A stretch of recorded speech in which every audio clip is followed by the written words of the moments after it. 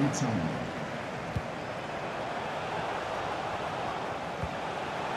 Tielemans. Felipe Anderson. Shots on here. They have scored. They do lead now by two. They've worked very hard for this. It should get them across the line at the end of the match. We'll see. Well, they call it his weaker side. Too weak that. Didn't look that way, did it, Martin? He took a little chance there, and he's uh, really been rewarded for it. Another angle on that goal.